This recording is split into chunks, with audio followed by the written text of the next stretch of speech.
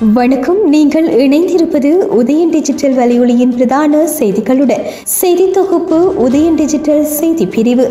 செய்திகளுடன் இணைந்திருக்கும் நான் லிஷா தரணீஸ்வரன்.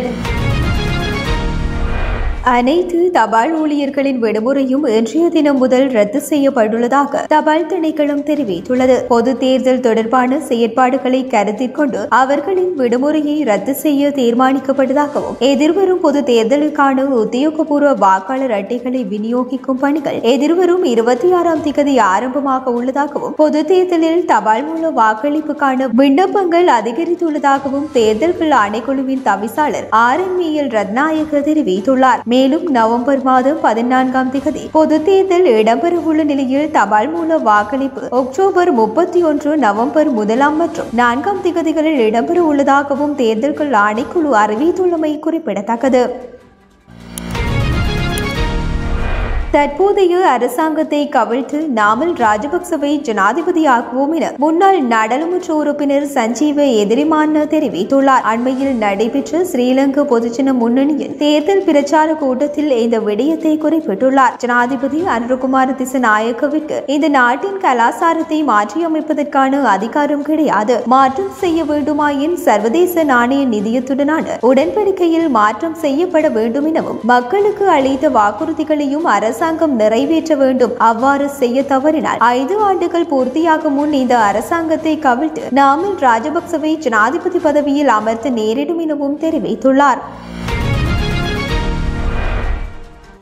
யாழ்ப்பாணம் தவிர்ந்த நாட்டின் வேறு எந்த ஒரு நீதிமன்றிலும் சாட்சியம் வழங்க தயார் என முன்னாள் ஜனாதிபதி கோட்டாபய ராஜபக்ச தெரிவித்துள்ளார். மனித உரிமை செயற்பாட்டாளர்களான லலித் மற்றும் குகன் ஆகியோர் காணாமல் போன சம்பவம் தொடர்பான வழக்கு விசாரணைகளின் போது அவர் இந்த விடயத்தை தெரிவித்துள்ளார். இந்த வழக்கு விசாரணைகளின் ஓர் சாட்சியாளராக கோட்டாபய ராஜபக்ச காணப்படும் நிலையில் யாழ்ப்பாணம் நீதிவான் நீதிமன்றம் தவிர்த்து நாட்டின் வேறு எந்த ஒரு நீதிமன்றிலும் சாட்சியம் அளிக்க தயாரென கோட்டாபய சட்டத்தரணி ஊடாக தெரிவித்துள்ளார். இன்றைய தினம் இந்த வழக்கு விசாரணைக்கு எடுத்துக் கொள்ளப்பட்ட போது இந்த விடயம் தெரிவிக்கப்பட்டுள்ளது. உயிர் அச்சுறுத்தல்கள் காரணமாக ஜாழ்ப்பாண நீதிமன்றத்திற்கு சென்று சாட்சியம் அளிக்க முடியாது எனவும் இந்த வழக்கு எதிர்வரும் ஆண்டு மார்ச் மாதம் பதினெட்டாம் திகதி ஒத்திவைக்கப்பட்டுள்ளதாகவும் தெரிவிக்கப்பட்டுள்ளது. மேலும் கடந்த இரண்டாயிரத்தி பதினோராம் ஆண்டு டிசம்பர் மாதம் பத்தாம் திகதி லலித் வீரராஜ் மற்றும் குகன் முருகானந்தன் ஆகியோர் காணாமல் போனதாக அவர்களது உறவினர்கள் ஜாழ்ப்பாண நீதிமன்றில் ஆட்கொணர்வு மனு ஒன்றை தாக்கல் செய்திருந்ததுடன் இந்த சம்பவம் இடம்பெற்ற காலத்தில் நாட்டின் பாதுகாப்பு செயலாளராக கோட்டாபய ராஜபக்ச கடமையாற்றியிருந்தார் என்பதும் குறிப்பிடத்தக்கது.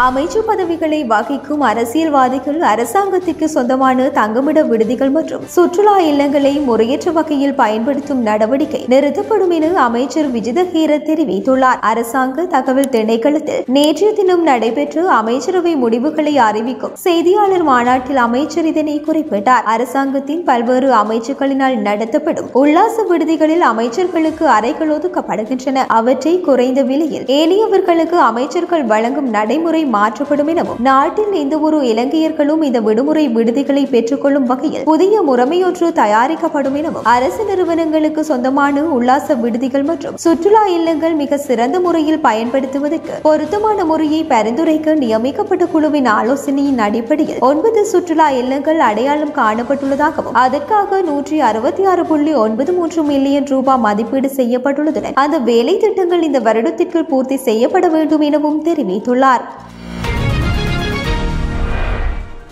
முன்னாள் நாடாளுமன்ற உறுப்பினர் ஜோன்ஸ்டன் பெர்னாண்டோ வாக்குமூலம் வழங்குவதற்காக குற்றப்புலனாய்வு திணைக்களத்தில் இன்று காலை ஆஜராகியுள்ளார். சமீபத்தில் கில்டன் ஹோட்டலில் வாகன நிறுத்துமிடத்தில் பிஎம்டபிள்யூ கார் ஒன்று கண்டுபிடிக்கப்பட்டது தொடர்பான விசாரணை குறித்து அவர் இவ்வாறு அழைக்கப்பட்டுள்ளார். இது தொடர்பில் குற்றப்புலனாய்வு பிரிவினரிடம் வாக்குமூலம் வழங்க தயார் என நேற்றைய தினம் முன்னாள் அமைச்சர் ஜோன்ஸ்டன் பெர்னாண்டோ தனது சட்டத்தரணி ஊடாக மேன்முறையீட்டு நீதிமன்றில் தெரிவித்துள்ளார். மேலும் என்ன நடக்கிறது என்று பொறுத்திருந்து இருந்து பார்ப்போம். கேள்விகளுக்கு காலம் பதில் சொல்லும். சத்தியம் வெல்லும் என ஊடகங்களுக்கு கருத்து தெரிவித்துள்ளமையும் குறிப்பிடத்தக்கது. பெங்களூரில் கட்டுமானத்தில் இருந்த கட்டிடம் ஒன்று இடைந்து விழுந்ததில் ஒருவர் உயிரிழந்துள்ளதுடன் மேலும் பலர் இடிபாடுகளுக்குள் சிக்கிக் கொண்டுள்ளதாக இந்திய ஊடகங்கள் செய்தி வெளியிட்டுள்ளன. குறித்த தகவலின்படி எட்டு பேர் மீட்கப்பட்டுள்ளதாகவும் அவர்கள் ஐந்து பேர் காயம் அடைந்துள்ளதாகவும் மேலும் ஏழு பேர் காணாமல் போயுள்ளதாகவும் தெரிவிக்கப்படுகின்றது. இச்சம்பவம் ஹரின் ஹென்னூர் பகுதியில் நேற்று மாலை இடம்பெற்றுள்ளதாக அதிகாரிகள் தெரிவித்துள்ளனர். கட்டிடம் இடிந்து விழும் வேளையில் அவ்விடத்தில் இருபது தொழிலாளர்கள் இருந்துள்ளதாகவும் அடித்தளம் பலவீனமாக இருந்த இவ் அனைத்தும் இடம்பெற்றுள்ளதாகவும் ஆரம்பகட்ட விசாரணைகளில் தெரிய வந்துள்ளது. மேலும் இடிபாடுகளுக்குள் சிக்குண்டவர்களை மீட்கும் பணிகள் தொடர்ந்து நடைபெற்று வருகின்றமையும் குறிப்பிடத்தக்கது. தைவான் ஜலசந்தியில் நேரடி துப்பாக்கி சூடு ஒத்திகை நேற்றைய தினம் சீனா நடத்தியுள்ளதாக தகவல் வெளியாகியுள்ளன. கடந்த ஞாயிற்றுக்கிழமை அமெரிக்கா மற்றும் கனடாவின் போர்க்கப்பல்கள் தைவான் ஜலசந்தி வழியாக பயணித்த பின்னர் சீனா மிகப்பெரிய ராணுவ பயிற்சியை நடத்தியுள்ளது. நியூஷான் தீவுக்கு அருகிலுள்ள கடலில் உள்ள ஒரு குறிப்பிட்ட பகுதியில் உள்ளூர் நேரப்படி காலை ஒன்பது மணி முதல் பிற்பகல் ஒரு மணி வரை ராணுவ ஒத்திகை நடந்துள்ளதாகவும் குறிப்பிட்ட நேரத்தில் அந்த பகுதிக்குள் கப்பல்கள் நுழைய அனுமதிக்கப்படவில்லை என்றும் கடந்த ஞாயிற்று ஞாயிற்றுக்கிழமை அமெரிக்க கடற்படை அமெரிக்க நாசகார கப்பலான யுஎஸ்எஸ் கிக்கின்ஸ் மற்றும் கனேடிய போர்க்கப்பலான எச்எம்சிஎஸ் வான்கூவர் ஆகியவை தைவான் ஜலசந்தி வழியாக பயணித்திருந்ததாகவும் தெரிவிக்கப்பட்டுள்ளது. மேலும் அமெரிக்க மற்றும் கனடாவின் நடவடிக்கைகள் தைவான் ஜலசந்தியின் அமைதி மற்றும் ஸ்திரத்தன்மையை சீர்குலைத்து விட்டதாகவும் சீனா கூறியிருந்தமை குறிப்பிடத்தக்கது.